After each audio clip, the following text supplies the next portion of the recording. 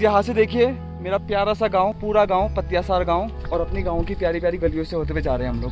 टोकरी में सारे गेहूँ डाल दिए अब इसमें स्पेस बचाने के इसके ऊपर ऐसे चढ़ना पड़ता है और गेहूँ को ऐसे दबाने पड़ते हैं। हर दिन कौती की हो रहा है यहाँ पे सही बताऊँ तो आप मज़ा ही आ जा रहा है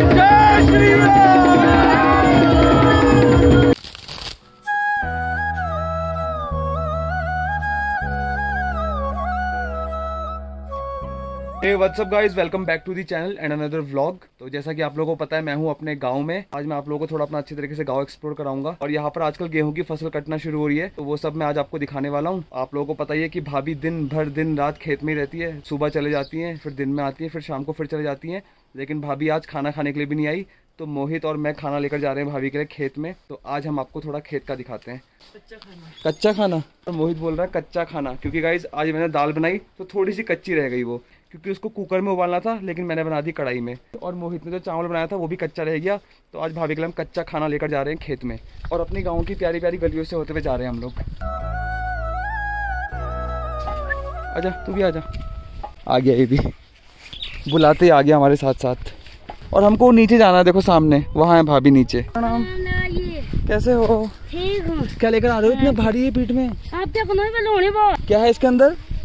गेहूँ? गेहूँ का कट्टा देखो बाप रे खुद से बड़ा कट्टा लेकर जा रही है आंटी। प्रणाम। कब पहुँचे? मैं हो गया टाइम मेरे को। तीन चार दिन हो गए। हाँ हाँ हाँ। आप क्या लेकर आ रहे हो गेहूँ। हाँ सब गेहूँ लेकर जा रहे हैं ना? इनको सुखाएँगे लेंडर में। फिर सुबह के फिर गेहूँ उसमें डालेंगे मशीन में। दाना निकल जाएगा वो अलग हो जाएगा फिर। चलो चलते हैं नीचे दिखा कर आते हैं। फिर मिलते हैं आपसे। हैं। यहाँ से देखिए मेरा प्यारा सा गाँव पूरा गाँव पतियासार गाँव।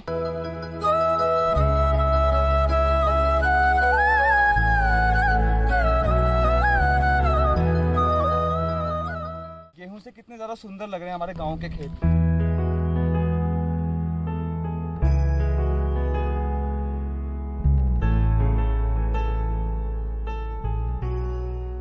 गाइस अभी जाने में लगे हैं जाने में लगे हैं। गेहूँ के खेती खत्म नहीं हो रहे हैं। इतने सारे खेत हैं यहाँ पे। यहाँ है भाभी हमारी देखो। इतने ऊपर से आ रहे हैं आपको देखने के लिए। दाल कच्ची है चावल भी कच्चे हैं। और खाना भी है। तो वो सामने हमारा गाँव और नीचे देखो सारे खेती खेत खेती खेत खेती खेत खेती खेत।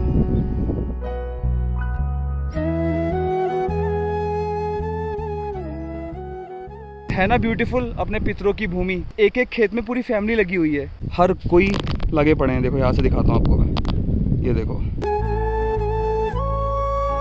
कुछ होगा, काम पे ध्यान नहीं, गप्पों में भी ध्यान है। हम नीचे को आ गए थे अभी। आपको यहाँ से पूरा व्यू दिख रहा था खेतों का। और भाभी ने भी खाना खा लिया होगा। और अब एक एक करके सबसे मिलाते हुए चलते हैं आपको ऊपर साइड को। सारे अपने गाँव के लोग ही काम कर रहे हैं यहाँ पे। और कोई मशीन नहीं है, कुछ भी नहीं है। सिर्फ़ हाथों से तोड़ के इसमें भर रहे हैं, कट्टे में। और यहाँ पे हमारी दादी लोग हैं। प्रणाम प्रणाम।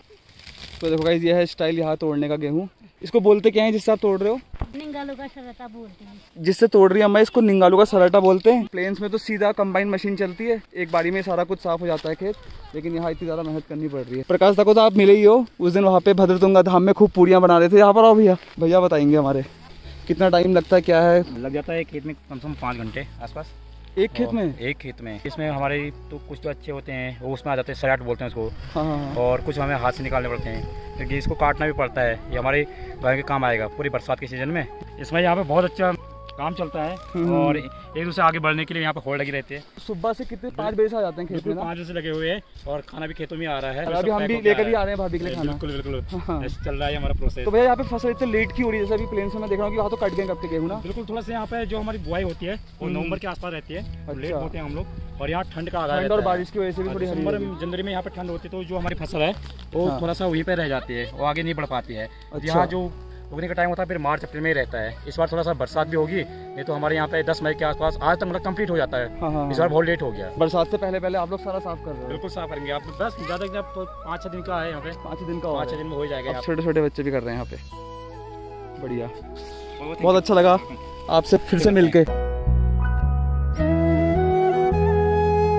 और इस वाले खेत में सारे गेहूँ तोड़ दिए ऊपर के। क्या आप क्या काट रहे हो भाभी इस नीचे का? ये हम गायों के लिए सारा काट रहे हैं। अच्छा और चट्टानों में कब जाते हो घास लेने के लिए? अगले साल जाएँगे अभी तो ये काट के डालेंगे। अच्छा अच्छा अच्छा उसके बाद जाओगे सुबह से यहीं आ गई थी मैं। और खाना खा लिया आपने? खाना अभी मेरे बेटा आया था पहुँचाने। नहीं खाया बोलो ना भूखे हूँ बहुत सुबह से बोलो। नहीं यार सुबह तो सुबह से लेके तो अभी तक दो टाइम खा लिया खाना। नहीं तो इतना काम कहाँ से कर पाऊँगी? वो तो लग भी रहा है आपको देख के आप तो खा ही रहोगे तो सही बोला आपने। अब ऊपर चलते हैं थोड़ा ऊपर भी दिखाते हैं आपको। और गाइज़ ये देखो ये है टोकरी। घर की टोकरी है? हाँ। घर में बनाई आपने? हाँ घर में बनाते हैं हम नहीं बनाते हैं वो खलपटा वाले बनाते हैं। किस चीज़ की बनती है टोकरी? इसको निकालो बोलते हैं। पेड़ में उगता है ना निंगालू है? हाँ पेड़ होते हैं निंगालू के पेड़ होते हैं तो ये निंगालू के पेड़ की बनी हुई है।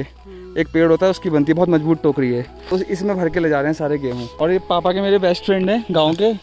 उनको देखा वो कहेंगे बाबा रे। ये बोलो खूब लगे हैं मेरे को।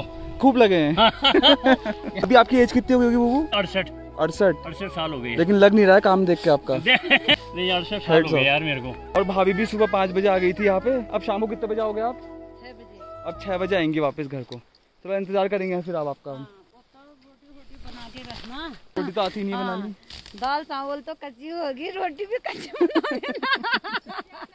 भाभी ने अच्छी तरीके से ट्रेनिंग दे दी हमको गेहूँ तोड़ने की। और हम दिखाएँगे आपको तोड़ के देखो।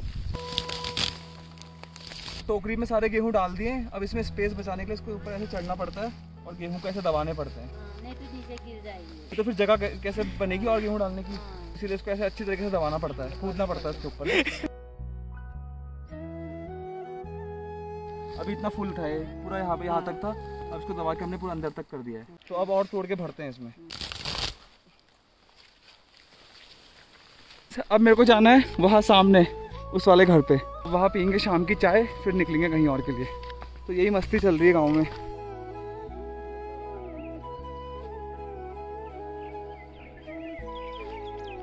एक भाभी तो हमारी चंपा भाभी हैं और यह है हमारी दूसरी भाभी। भाभी वैसे बागेश्वर रहती हैं। अभी गेहूँ टीपने के लिए आई थी अपने खेतों के। ये देखो, इनकी स्पीड इनकी स्पीड इतनी तेज है, इनने चार दिन में भाभी ने पूरे टीप दिए अपने गेहूँ। यहाँ पर अलग सुखा रखे, छत में अलग सुखा रखे। बने लगे केतली में गर्मा गर्म चाय चलते हैं हम भी।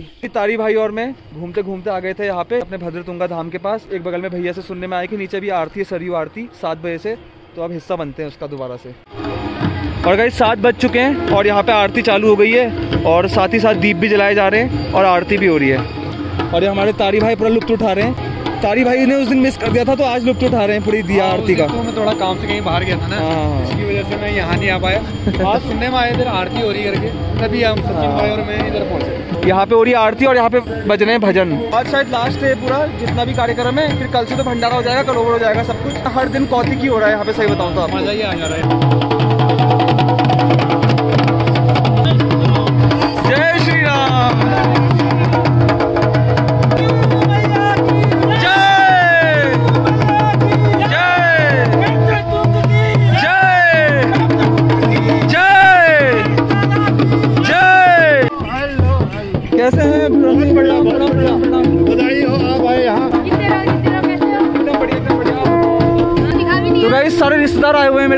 देखिए मामा जी प्रणाम।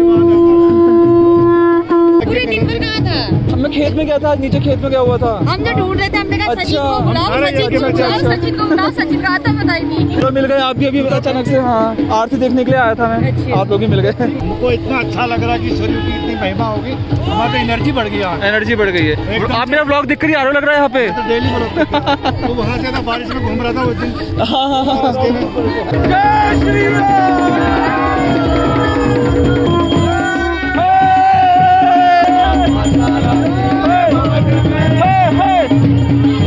रास्ते